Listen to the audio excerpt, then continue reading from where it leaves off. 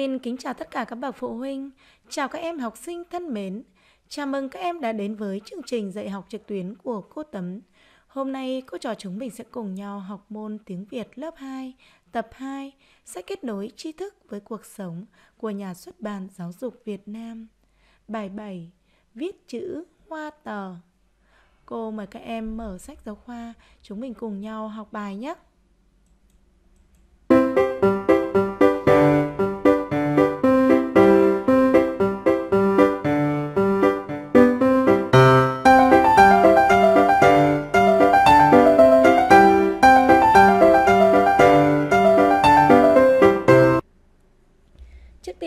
Chúng mình sẽ cùng nhau làm quen với cách viết chữ hoa tờ. Chữ hoa tờ gồm có hai cỡ chữ, cỡ chữ vừa và cỡ chữ nhỏ. Bây giờ các em hãy quan sát lên màn hình. Đây là mẫu chữ hoa tờ cỡ vừa. Các em hãy quan sát và cho cô giáo biết chữ hoa tờ cỡ vừa có độ cao là mấy ly? Đáp án của cô là chữ hoa tờ cỡ vừa có độ cao là 5 ly đấy. Hãy quan sát và cho cô giáo biết độ rộng của chữ hoa tờ cỡ vừa nào. Độ rộng của chữ hoa tờ cỡ vừa là có độ rộng 4 ô ly. Quan sát và cho cô giáo biết, để viết được chữ hoa tờ, chúng ta cần có mấy nét. Đáp án của cô giáo là, chữ hoa tờ gồm có 3 nét cơ bản.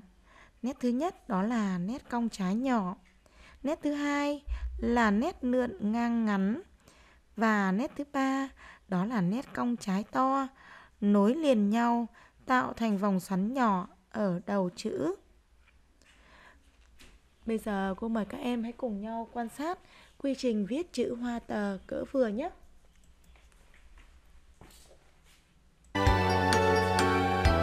Nét 1 Nét cong trái nhỏ Nét lượn ngang và nét cong trái to.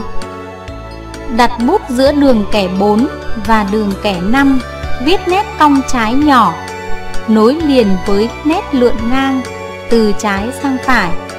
Sau đó lượn trở lại, Viết tiếp nét cong trái to, Cắt nét lượn ngang và cong trái nhỏ, Tạo vòng xoắn nhỏ ở đầu chữ.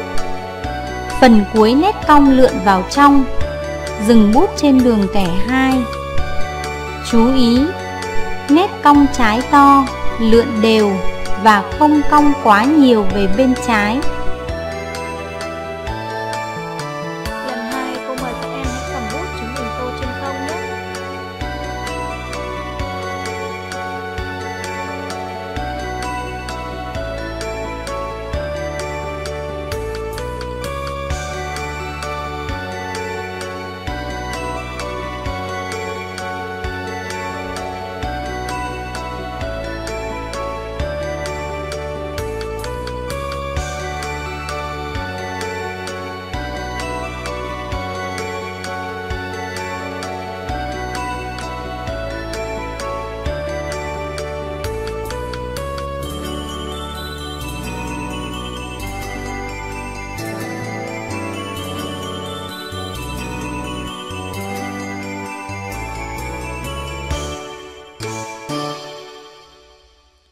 Như vậy vừa rồi chúng mình đã cùng nhau quan sát quy trình viết mẫu chữ hoa tờ cỡ vừa. Bây giờ cô mời các em hãy bấm dừng hình để chúng ta luyện viết chữ hoa tờ cỡ vừa vào bảng con nhé. Mời các em quay trở lại màn hình. Bây giờ chúng mình sẽ cùng nhau tìm hiểu về cách viết chữ hoa tờ cỡ nhỏ nhé. Các em hãy quan sát, đây là mẫu chữ hoa tờ cỡ nhỏ. Cho cô giáo biết chữ hoa tờ cỡ nhỏ có độ cao là mấy ly? Đáp án của cô giáo là chữ hoa tờ cỡ nhỏ có độ cao là 2,5 ly, tức là 2 ly rưỡi đấy. Quan sát cho cô xem độ rộng của chữ hoa tờ cỡ nhỏ là mấy ô ly? Đáp án của cô giáo là chữ hoa tờ cỡ nhỏ có độ rộng là 2 ly. Bây giờ chúng mình hãy cùng nhau quan sát quy trình viết chữ hoa tờ cỡ nhỏ. chữ hoa tờ cỡ nhỏ thì cũng gồm có 3 nét cơ bản ghép lại với nhau. Đó là nét cong trái nhỏ, nét lượng nang ngắn và nét cong trái to nối liền nhau tạo thành vòng xoắn nhỏ ở đầu chữ đấy. Bây giờ chúng mình cùng nhau quan sát quy trình viết nào. Nét 1 đó là nét cong trái nhỏ nối liền với nét lượn ngang và cong trái nhỏ, tạo thành vòng xoắn nhỏ ở đầu chữ. Phần cuối nét cong lượn vào trong giống như chữ cờ hoa và chúng ta dừng bút ở giữa đường kẻ 1 và đường kẻ 2. Cô mời các em hãy bấm dừng hình để chúng ta luyện viết chữ hoa tờ cỡ nhỏ vào bảng con nhé.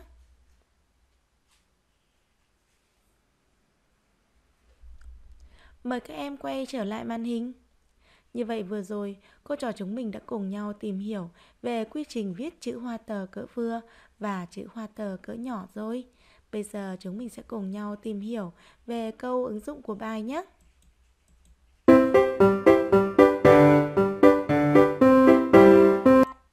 Chúng mình cùng nhau đọc câu ứng dụng theo cô. Tay làm hàm nhai tay, quay miệng, trễ. Cô mời các em đọc lại nào.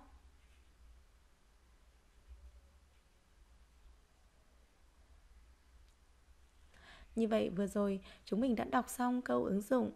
Bây giờ các em hãy cùng nhau lắng nghe cô giáo giảng về nghĩa của câu ứng dụng này nhé. Câu ứng dụng này muốn nói là chúng ta phải à, muốn có cái ăn thì chúng ta phải lao động chăm chỉ thì mới có ăn còn nếu như chúng ta lười biếng thì chúng ta sẽ không có gì để ăn câu tục ngữ muốn khuyên chúng ta cần phải chăm chỉ đấy. Ở câu tục ngữ này có hai vế, mỗi vế được ngăn cách bởi dấu phẩy. Vế thứ nhất đó là tay nàm, hàm nhai. Vế thứ hai là tay quai, miệng trễ. Bây giờ chúng mình hãy quan sát. Ở câu ứng dụng này thì chữ nào được viết hoa? Trong câu ứng dụng này thì chữ tay được viết hoa đấy. Vì sao chữ tay lại được viết hoa nhỉ? À, tại vì chữ tay là chữ đầu câu, chúng mình cần phải viết hoa chữ tờ đấy. Và chữ tờ viết hoa này có độ cao là 2,5 ly.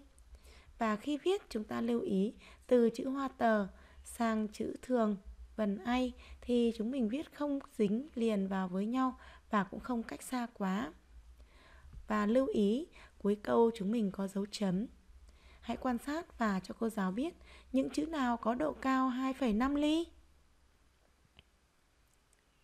Những chữ có độ cao 2,5 ly đó là chữ tờ viết hoa, chữ y, chữ l, chữ h. Cho cô biết những chữ nào có độ cao 2 ly. Những chữ có độ cao 2 ly đó là chữ cu. Quan sát tiếp và cho cô giáo biết chữ nào có độ cao 1,5 ly. Chữ có độ cao 1,5 ly đó là chữ tờ. Vậy chữ nào có độ cao 1,25 ly?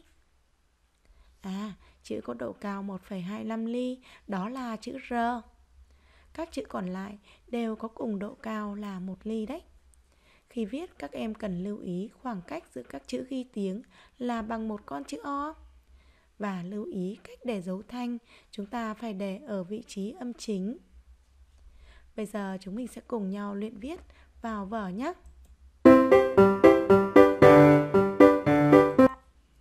Đây là nội dung bài viết của chúng ta. Các em hãy cùng nhau quan sát mẫu nhé. Mỗi một dấu chấm là khoảng cách giữa các chữ. Đầu tiên chúng mình sẽ viết hai dòng chữ tờ cỡ vừa có độ cao là 5 ly.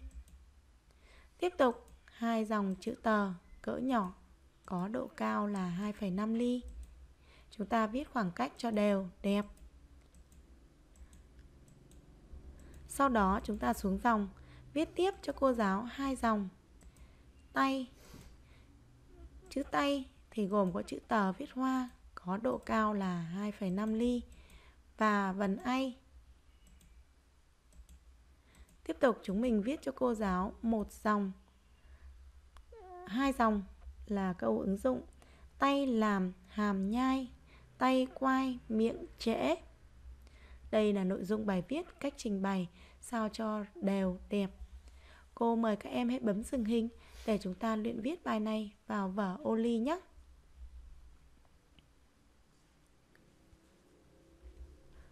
Cô mời các em quay trở lại màn hình. Như vậy vừa rồi, cô trò chúng mình đã cùng nhau hoàn thành xong bài viết chữ hoa tờ. Tiết học của cô hôm nay đến đây là hết rồi. Thân ái chào tạm biệt các em. Chúc các em chăm ngoan, học giỏi và hẹn gặp lại các em ở tiết học sau.